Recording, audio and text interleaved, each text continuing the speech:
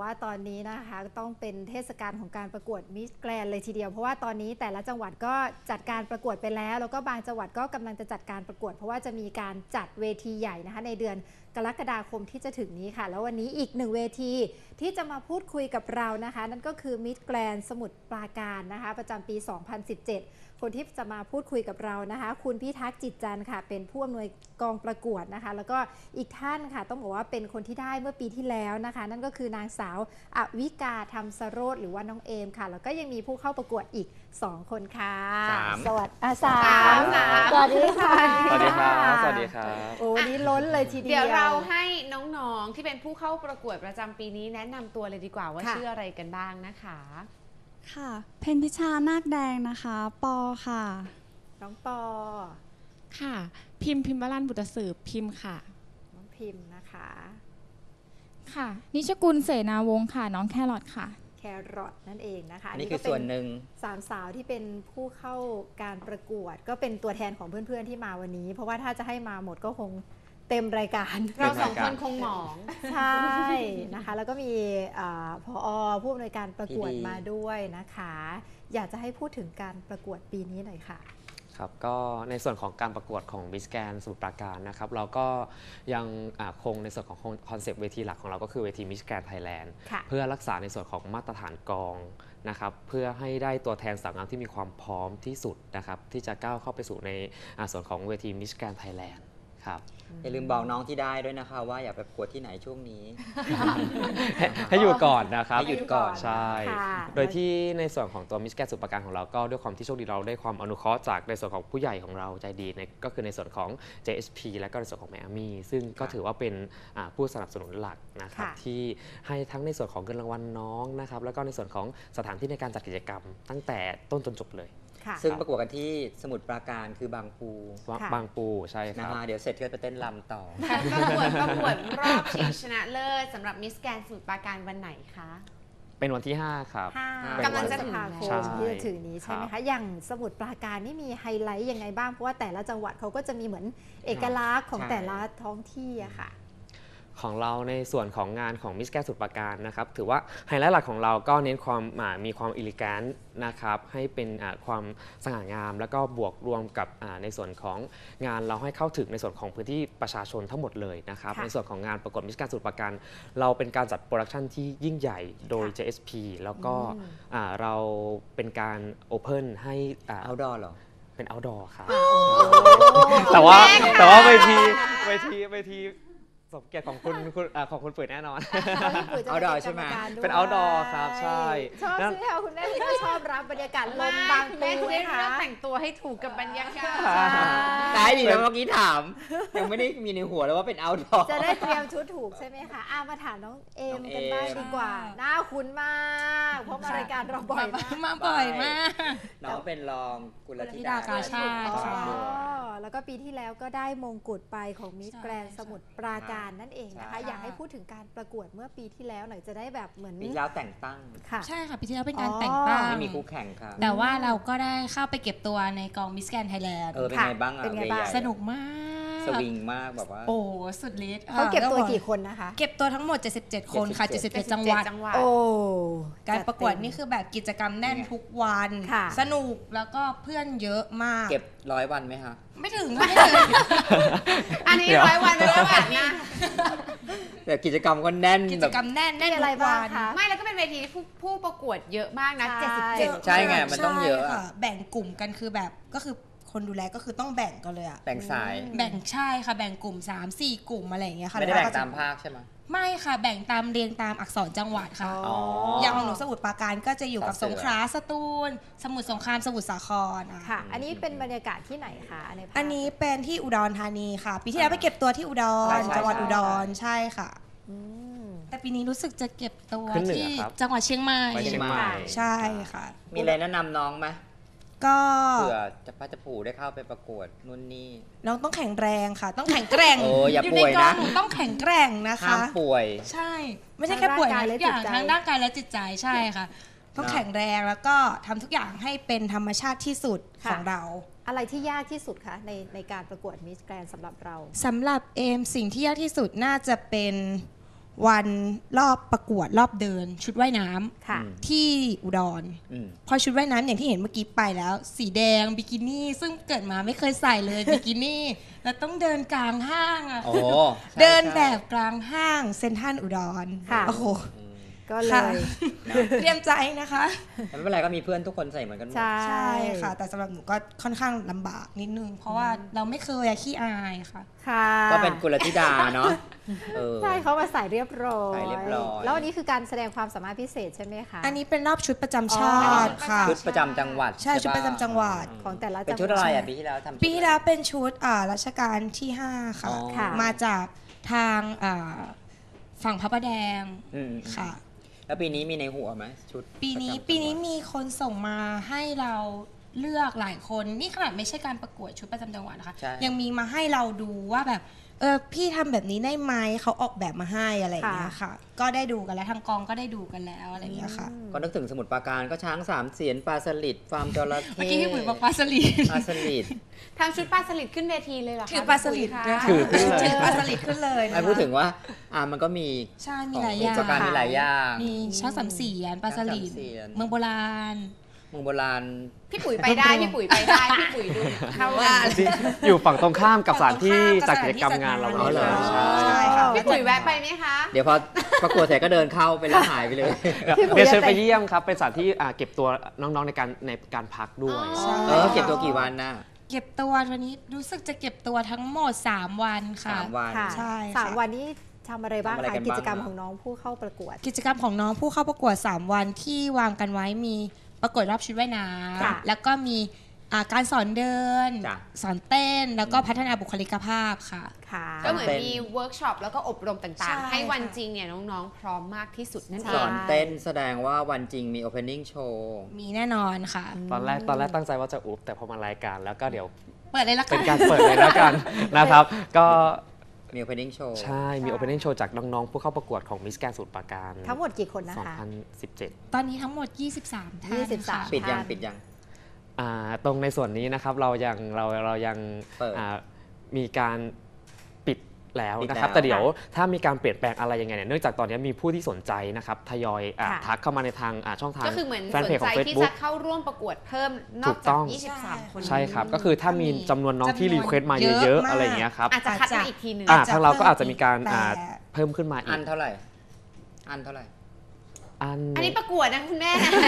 ไม่ใช่ซื้อหวยค่ะ ไม่ ดูสปอนเซอร์ก่อนบางพี่คนก็เขาบอันอกสามสิบอืมอืม อันยี่ห้าแต่นี่ครับแบบ 23ทราบว่าเต็มที่ก็ไม่เกิน 30หรอกสามสิบ 25ก็ถือว่า ใช่อะไรประมาณนั้นแน่นอนคค่ะรับ งั้นถามน้องสามคนที่มากันบ้างดีกว่านะคะว่า แต่ละคนเข้ามาประกวดได้ยังไงแล้วเป็นเวทีแรกหรือเปล่าเอ่ย อะ ค่ะสำหรับหนูนะคะ จ้ะ เวทีใหญ่แบบเนี้ยเวทีแรกเลยค่ะมิสจ้ะ แกรนค่ะค่ะเคยประกวดอะไรมาจ้าหนูเคย ประกวดนางสงกรานต์พระประแดงมาค่ะ ปีนี้เหรอ ใช่ค่ะ เข้าล่ารสุดอนี่บปะ 30 คนค่ะ โอ้ยวันนั้นร้อยกว่าคุณ เยอะมาก แล้วทำไมเราถึงเลือกมาประกวดที่นี่คะ หรือว่าเป็นคนสมุทรปราการใช่ค่ะ ก็ใกล้ๆค่ะ กรุงเทเพพราะหน้าเหมือนค่ะสาวมอนอยู่อ๋นะอคนพื้นที่ตาใกล้สวยเคียงตาสวย สาวมอน ค่ะ ก็แบบอยากมาเวทีใหญ่ๆแบบเป็นประสบการณ์ใหม่ ๆ ด้วยค่ะ ได้เจอแบบพวกพี่ๆเขาก็น่ารักดีค่ะอย่าบอกนะอยากได้มิตรภาพอยากได้เพื่อนใหม่ค่ะเขาเป็นนางงามแม่ให้ตอบยังไงคะหนูอยากได้มงค่ะอย่างเงี้ยเหรออ๋อมาก็ต้องอยากได้มงสิอยากได้ไหมคะมงก็อยากมั่นใจไหมลูกมั่นใจไหมลูกค่ะมั่นใจไหมมั่มั่นคะใจไหมสำหรับการประกวดครั้งนี้ ก็มั่นใจอยู่ค่ะเอออย่างนี้สิเพ ราะเวทีต้องมั่นมากค่ะๆ ดูรุ่นพี่สิคะ อะอีกท่านค่ะ ค่ะที่มาประกวดมันที่ค่ะ เวทีในได้นะคะ ก็เพราะว่าบ้านอยู่บางปูอะค่ะอ๋อ ใช่แล้วก็เห็นป้ายประกาศนะคะ แล้วคุณแม่เขาก็อยากให้มาประกวดอืมค่ะ ก็เลยแบบทำตามฝันให้คุณแม่ค่ะ แล้วเคยประกวดที่ไหนมาก่อนไหมคะ ไม่เคยค่ะ หนูน่าจะมาเวทีแรกสายเลยนางแบบปะใช่ไหมค่ะเป็นนางก็แบบเคยไปไทยซูเปอร์โมเดลแล้วเข้ารอบค่ะ อ๋อสูงเท่าไหร่ป็นสายอะนางแบบสูงร้อยเจ็ดสิบค่ะ เออ มสมัยนี้นะต้องร้อยเจ็ดสิบร้อยเจ็ดสิบห้าใช่ร้อยหกสิบห้านี่คือ เตี้ยอะอีกท่านค่ะ ค่ะก็ที่เข้ามาประกวดเวทีนี้ได้นะคะ เพราะว่าอยากจะทำตามความฝันของตัวเองอะค่ะ เพราะว่าเป็นคนที่ชอบการประกวดตั้งแต่เด็กๆแล้วอะค่ะ เริ่มจากเวทีแรกก็เป็นมิสทีนไทยแลนด์ค่ะอืม ก็เริ่มประกวดมาเรื่อยๆ ค่ะ แล้วก็จนมาถึงเวทีมิสแกรนด์นะคะ เป็นเวทีที่ใหญ่แล้วก็เป็นเวทีที่มีเกียรติยศมากๆค่ะ ก็เลยอยากเข้ามาเป็นส่วนหนึ่งอะค่ะ ในการประกวดมิสแกรนด์แล้วก็อยากจะฝันที่จะเข้าไปในการประกวดมิสแกรนด์ไทยแลนด์ด้วยค่ะ ค่ะ ถามความมั่นใจดีกว่าอืมว่าพกความมั่นใจมาขนาดไหนสำหรับความมั่นใจมีเต็มเอาร้อยเอาวันที่ 5 นี้ก่อน มีเต็มร้อยเลยค่ะมงไหม ถ้ามงก็โอเคเลยค่ะโอ้โหอยากมงค่ะคุณแม่น้องบอกใช่ เนาะเพราะเป็นเป็นความใฝ่ฝัน ใช่เหมืค่ะอนเพียร์อะประกวดเขาก็อยากได้ ค่ะ ไม่ต้องวนกลับมาที่หนูอะก็ได้ถามค่ะน้องคุณๆแม่บ้างดีกว่าว่าในเมื่อแต่ละคนบอกว่าตัวเองพร้อมมากๆ แต่ละคนเนี่ยคิดว่าตัวเองมี จุดแข็งอะไรที่ค่ะจะเอามาพิชิตใจคณะกรรมการค่ะใช่เพราะว่านี่เป็นหนึ่งในคณะกรรมการนะคะนี่อันนี้ก็เป็นอีกหนึ่งสิ่งที่ทางกองอยากจะเก็บไว้เป็นความลับ แล้วก็เปิดเผยอีกครั้งแล้วแต่พอมารายการนี้นะครับไหนๆก็เปิดตัวก็แล้ต้วองก็เปิดแล้วพี่ปุ๋ยนะคเนี่รับยก็เป็นอีกหจะนึ่งบอกว่าในพควณะกกรรมเราการไม่สามารถมีความลับบนโลกใบนี้ได้ใครที่ดูอยู่ปรากฏว่าพอบอกว่าเป็นกรรมการถอนตัวเพราะกรรมการคนนี้โห ดใช่ มาก แต่สามคนนี้ได้เปรียบนะ ได้มาเจอก่อนให้พรี่เซนต์ตัวเองกับพี่ปุ๋ยเลยค่ะ ให้ถ้าอย่างนั้นเต็มที่เลย เต็มที่เลยว่าแบขายบของขายของ ทำไมเราถึงจะต้องได้จุดมแข็งงในทำวัไมนเออจุดแข็งทำไมพี่ต้องเลือกหนู ข้ดีเออ เรามีอะไรมาพิชิตใจคณะกรรมการบ้าง หนูสตรองไหม สตรองมากค่ะ สำหรับจุดแข็งของหนูนะคะ ก็ไม่ใช่เพียงแค่บุคลิก แล้วก็รูปร่างหน้าตาอย่างเดียวค่ะ ค่ะยังเป็นความมั่นใจของหนูด้วยนะคะ อืม ที่จะเอามาพิชิตใจคณะกรรมการทุกๆท่านด้วยค่ะ ที่เวทีมิสแกนสมุทรปราการแห่งนี้ค่ะ ค่ะ อายุเท่าไหร่แล้วคะตอนนี้อายุ 20 ปีค่ะ เรียนที่ไหนเอ่ย อยู่ที่ราชมงคลรัตนโกสินทร์พื้นที่สารยาค่ะ ค่ะ อ๋อรัตนโกสินทร์เคยประกวดดาวเดือนไหมอะอ๋อเคยไหมไม่ได้ประกวดค่ะอืมอืมเกือบได้ไปเลยวันนั้นใช่ดาวเดือนปีล่าสุดอะอะอีกท่านค่ะ ค่ะหนูจุดแข็งจุดแข็งจุดแข็งนะคะ คิดว่าเป็นคนมีความมั่นใจค่ะอืมค่ะ แล้วก็อะไรที่ทำไม่ได้ก็คิดว่ามีความพยายามมากพอที่จะทำได้ค่ะ มีค่ะความสามารถพิเศษอะไรไหมที่แบบโชว์แล้วแบบว่า อุ้ยตะลึงคุณพระ มีม้าแบบ เออก็จะเป็นพิธีกรอะไรแบบอ๋อพูดเป็นเก่งพูดบทเป็นพิธีกร ใช่ค่ะส่วนตัวเป็นคนพูดเก่ง ค่ะเต้นเติ้นอะไรยังไง เต้นไม่ได้เลย เต้นไม่ได้เดี๋ยวแต่ว่าก็เต้นมีการไปเทรนเพื่อที่จะทำเป็นโชว์ใน ใช่เดี๋ยวก็จะซ้อมเต้น opening ค่ะ ค่ะ อีกหนึ่งอะท่านค่ะ จุดแข็งลูก ค่ะจุดแข็งของหนูนะคะ ก็คือตาหวานกับยิ้มหวานค่ะ โอ้โห ความมั่นใจก็มีค่ะ ค่ะ สายฝก็อไหมเราเนี่ยฝอไหมไม่ค่ะ ยิ้มหวานตาหวานยิ้มหวานตาหวานนะคคะมเนอะอืมขแล้วอบคุณค่ะ ร้องเพลงเต้นเติ้นอะไรยังไงอ๋อมีไหมของหนูก็จะเป็นนาฏศิลป์ไทยเลยค่ะ อ๋อรำเรียนค่ะ เรียนนาฏศิลป์ใช่ไหมใช่ค่ะ อืมค่ะ ไม่ได้เรียนที่วิทย์ไลนะคะ แบบว่าเป็นชมรมที่โรงเรียนอะไรอย่างเงี้ยค่ะ ก็มีออกแสดงมีรำอยู่อะไรอย่างใช่งี้ค่ะว่าหน้าหวานเนาะ หน้าตาและความสามารถพิเศษเข้าไปในทิศทางเดียวใช่กันค่ะ อันนี้เป็นเพียงนะแค่ 3 ท่านเท่านั้นนะคะ แต่ว่ายังมีน้องๆอีกที่เหลือ เพราะฉะนั้น ยี่สิบ ให้ผู้อำนวยการกองได้ฝากถึงการประกวดนี้แล้วก็จะไปติดตามหรือว่าไปเชียร์น้องๆได้ที่ไหนบ้างคะ ครับผมก็ฝากนะครับในส่วนของอาทุกท่านที่ติดตามชมอ่ารายการนี้อยู่นะครับ ค่ะ ก็อ่าช่องทางการติดตามของเราช่องทางหลัก ก็อยากให้ติดตามในส่วนของอ่าอ่า แฟนเพจของ Facebook นะครับค่ะก็คือมิสแกนสมุทรปราสมุทรปราการการนะครับแล้วก็อ่าในส่วนของอ่าเราจะมีการแจ้งแถลงการออกมาเรื่อยๆนะครับในค่ะส่วนของการประกวด แล้วก็เชิญขออนุญาตเชิญชวนเลยนะครับเข้าร่วมชมงานประกวดในวันที่ 5 นะครับพฤษภาคมนี้ที่แมอามี่บางปูนะครับซึ่งก็จัดงานให้เราโดย JSP แล้วก็แมอามี่ค่ะบางปูนะครับซึ่งท่านจะได้พบกับความยิ่งใหญ่ของมิสแกนสุดปราการ 2017 อย่างแน่นอน แล้วเรามาลุ้นกันว่าอ่าใครจะเป็นผู้ได้ครองในส่วนของมงกุฎแล้วก็เงินรางวัลมูลค่า 200,000 บาท ซึ่งเป็นเงินสดนะครับโหถือว่าเป็นมูลสครตอนนี้ค่าทันไหมคะมาค่ะ ขอขอย้ำรางวัลอีกรอบได้ไหมคะว่ามูลมีค่าที่หนึ่ง200,000สองสามอะไรบ้างอ่ารางวัลค่ะนะครับในส่วนของรางวัลรางวัลชนะเลิศนะครับ เงินสดมูลค่า 200,000บาทนะครับโอ้โหอืมมงนะครับมงกุฎสายสะพายด้วยที่ค่ะสำคัญนะครับ ก็ได้ในส่วนของกิฟต์วอเชอร์ในการดูแลตัวเองนะครับ จากทางจูเวเนคลินิกนะครับ มูลค่า 1 5 0 0 0 0 บาทด้วค่ะยแล้วมีนะลคอบงสองลองหนึ่งลองสองด้วยห้าไหมตคะมีมีห้ามีมีกี่ลองด้วยตำแหน่งคะเดี๋ยวตรงนี้เดี๋ยวให้ทางอ่านางงามรุ่นพี่ได้นะครับในการแนะนำตำแหน่งว่าค่ะจะมีตำแหน่งอะไรบ้างนะครับ ค่ะตำแหน่งนะคะ นอกจากรางวัลที่ 1 แล้วยังมีรองอันดับ1นะคะรองอันดับ 2 แล้วก็อ่า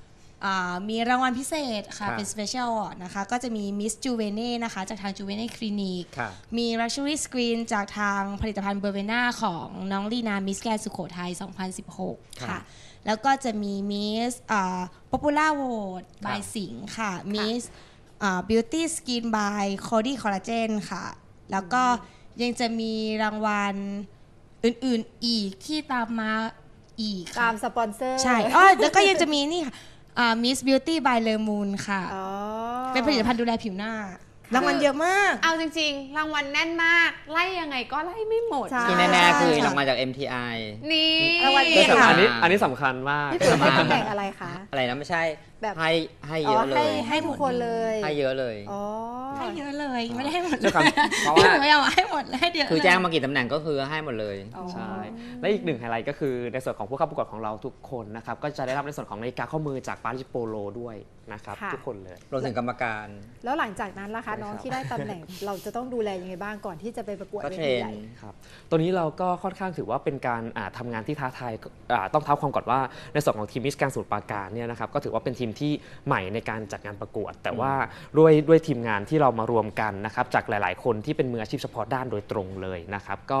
อ่าเราก็จะได้เตรียมในส่วนของความพร้อมของน้องเลยเบื้องต้นค่ะทั้งในด้านของรูปร่างภาษานะครับแล้วก็อ่าทั้งภายในแล้วก็ภายนอกนะครับ